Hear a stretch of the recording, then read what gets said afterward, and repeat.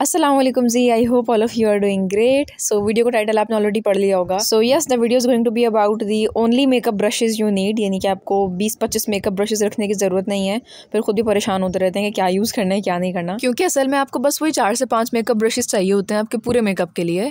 लेकिन ये बाकी जो सेट्स वगैरह होते हैं बाय करने की ज़रूरत नहीं होती है इतनी आप बस वही चार पाँच बाय कर लो, आपका काम आसानी के साथ हो जाएगा. अच्छा बाय द वे जो मेकअप ब्रशेज आप वीडियो में देख रहे हैं, ये जोएवा के हैं, और ये मैंने कहाँ से लिए, कितने के थे, और इसका प्रॉपर रिव्यू के ये बाकी परफॉर्मेंस में चाहिए या नहीं है क्वालिटी कैसी है इन सब के लिए भाई सेपरेट वीडियो मैंने ऑलरेडी एक बनाई हुई है उसमें सारे ब्रशेज़ के यूज़ भी बताए हैं अच्छा और उस वीडियो में मैंने आपको ना एक और कोई सेट भी दिखाया था मेकअप ब्रशेज़ का रिकमेंड किया था तो उसका लिंक आपको डिस्क्रिप्शन में मिल जाएगा आप लोग को चेक कर लेना वीडियो काफ़ी अच्छी डिटेल वीडियो है। चले जी let's get back to the video तो मैं आपको जल्दी से बता देती हूँ बस वो चार पाँच मेकअप ब्रशेज़ जो कि आपको वाकई में आपके मेकअप में चाहिए होता है। So the first one that I am going to show you all is this buffing brush ये फाउंडेशन लगाने के लिए यूज़ होता है लेकिन अगर आप लोग स्पंज या ब्यूटी ब्लेंडर यूज़ करते हो तो फिर आप इसको स्किप कर सकते हो। लेकिन हाँ मैं आपको यहाँ पर एक चीज़ बता दूँ कि ये वाला ब्रश जो होता है ना, इससे अगर अपनी फाउंडेशन लगाओ तो बहुत अच्छी फाउंडेशन लगती है। मतलब कवरेज काफ़ी अच्छी होती है। जब, जबकि स्पंज या ब्यूटी ब्लेंडर में मोस्टली तो आपकी फाउंडेशन उसमें एब्जॉर्ब भी हो जाती है प्लस उसमें कवरेज भी इतनी अच्छी नहीं जाती। है अच्छा ये वाला ब्रश जो होता है, ऊपर से हमेशा फ्लैट होता है। ब्लश वाले ब्रश में और इस ब्रश में एक यही फ़र्क होता है कि ये हमेशा ऊपर से फ्लैट होता है। और अगर आप इसकी शेप देखो तो थोड़ा सा इंक्लाइन जा रहा है मतलब डाउनवर्ड जा रहा है। इससे होता ही आपकी फाउंडेशन ड्रैग करने में आसानी होती है। और मैं भी अभी तक स्पंज या ब्यूटी ब्लेंडर्स यूज़ कर रही थी, लेकिन अब मैंने कुछ टाइम से ये ब्रशेज़ यूज़ करना स्टार्ट कर दिए हैं क्योंकि टाइम की बहुत बचत होती है भाई और साथ साथ फाउंडेशन काफ़ी अच्छी प्रोफेशनल लगती है। सो so, ये तो गया हमारा फ़र्स्ट वाला ब्रश अब बारी है सेकंड ब्रश की। हाँ जी सो नेक्स्ट ब्रश जो कि बहुत एसेंशियल है वो है ये वाला ब्लश या फिर पाउडर ब्रश कहलाता है ये। आपके ब्रशेस के सेट में जो सबसे बड़ा वाला फ्लफी सा ब्रश होता है ना जिससे आप ब्लश ऑन वगैरह लगाते हैं ये वही वाला ब्रश है और इससे मैं मोस्टली ब्लश ही लगा रही होती हूँ। इसको थोड़ा साइड से मैं स्क्वीज़ करके कॉन्टोर भी कर लेती हूँ और हाईलाइटर भी लगा लेती हूँ क्योंकि शार्प हाईलाइटर अच्छा नहीं लगता है। जो पूरे चीक पे आ रहा होता है वो अच्छा लगता है तो मैं इससे हाईलाइटर भी लगा ही लेती हूँ। मतलब तीनों काम हो जाते हैं ब्लश भी कॉन्टोर भी और हाईलाइटर भी। बाकी इसके अलावा इसी ब्रश से आपने पाउडर भी लगाना होता है यानी कि compact powder loose powder translucent powder या आप बेकिंग वगैरह जो करते हो अंडर आई लगाते हो और चीक बोन पे लगाते हो तो वो सारे पाउडर वाला काम भी इससे आराम से हो जाता है। सो so, यस yes, बहुत इंपॉर्टेंट ब्रश है ये आपके मेकअप रूटीन में जो कि आपके पास ज़रूर ज़रूर होना चाहिए। चलें जी मैं आपको दिखाती हूँ थर्ड इंपॉर्टेंट ब्रश जो कि आपके आई मेकअप में काफ़ी हेल्पफुल है।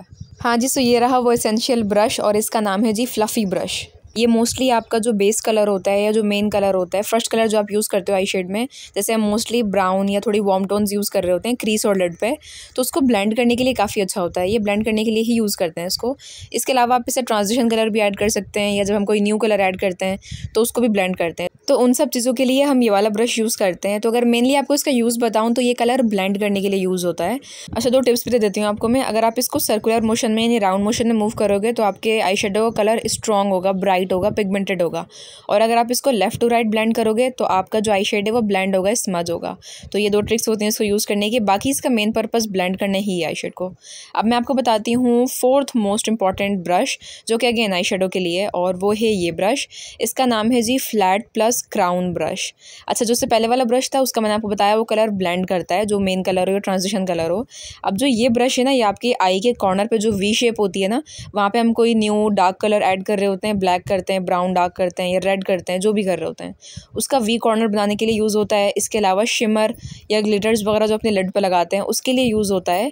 और बाकी इसके अलावा अगर आपको आई शेड बहुत प्रिसाइज़ करना है, आपको क्रीस बनानी है, आपको अगर न्यू कलर ऐड करना है क्रीज पे तो उन सब के लिए जो भी प्रिसाइज़ काम होता है ना, उसके लिए हम ये वाला ब्रश यूज़ करते हैं। हाँ जी, अब मैं दिखा रही हूँ आपको फिफ्थ मोस्ट इंपॉर्टेंट ब्रश जो कि है ये एंगल्ड फ्लैट ब्रश अच्छा इसकी शेप पे अगर आप और करो तो आप देख सकते हो ये एंगल्ड ब्रश है, ये बिल्कुल स्ट्रेट नहीं है, थोड़ा सा एंगल बना हुआ है इसमें।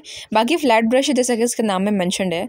अच्छा सो ये आप यूज़ कर सकते हो अपनी आईब्रोज वगैरह को बनाने के लिए फिल इन करने के लिए। इसके अलावा इससे आप लाइनर लगा सकते हैं, चाहे विंग लाइनर हो स्ट्रेट लाइनर हो, या फिर कोई कैट आई लाइनर हो, सारे लाइनर बहुत आसानी से लगते हैं इससे, क्योंकि इसकी शेप काफ़ी अच्छी होती है। अच्छा थर्डली आप इससे स्मज्ड लाइनर लुक बना सकते हो। आप इससे क्रीज की मेन लाइन भी ड्रॉ कर सकते हो। बहुत सारे काम हो सकते हैं इससे, क्योंकि इसमें एंगल भी है प्लस ये फ्लैट भी है। क्योंकि मेकअप करना एक आर्ट है और उसके लिए आर्टिस्टिक होना ज़रूरी है, आपकी स्किल्स अच्छी होना ज़रूरी है। लेकिन इतना भी कोई मुश्किल काम नहीं है, आराम से हर कोई घर पर सीख सकता है। मैंने भी यूट्यूब ट्यूटोरियल से सीखा है मोस्टली चलें जिसो ये आपको मैंने बिगनर फ्रेंडली पाँच बहुत एसेंशियल ब्रशेस दिखा दिए हैं, जो कि होना इंपॉर्टेंट है। उसके अलावा बाकी हो ना हो को ज़्यादा फ़र्क नहीं पड़ता है। So yes that was it for today's video I hope की वीडियो आपके लिए हेल्पफुल होगी एंड अल्लाह हाफिज़ एंटल माई नेक्स्ट वीडियो